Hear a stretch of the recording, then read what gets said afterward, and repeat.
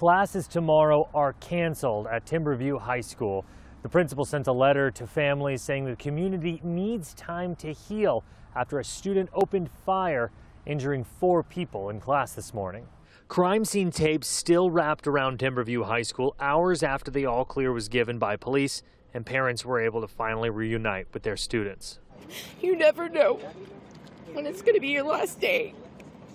So I'm very thankful to have my daughter with me. Multiple 911 calls came in from inside the school around 9:15 Wednesday morning. Officials say 4 people were shot, 3 were hospitalized, including a 15-year-old who's in the ICU but expected to be okay. The search for the shooter, 18-year-old Timothy Simpkins, lasted hours before he turned himself in with an attorney after 1 p.m. Police say a gun was found 2 miles from the high school in Grand Prairie.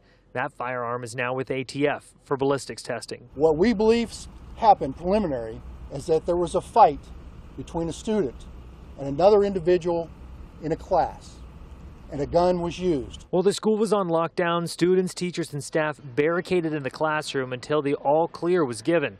About 1,700 students were then escorted to buses that took them to a nearby performance arts center to be reunited with parents. As soon as I heard from him, I was texting him. I just told him, I was like, keep your head down, do not move, and stay put. Um, I've heard from other parents of, our, of his friends um, text messages from them were gut wrenching. The school district said there aren't metal detectors on campus. Two officers who were at the school when the shooting happened were able to respond immediately. The principal canceled classes for Thursday. This is not a random act of violence.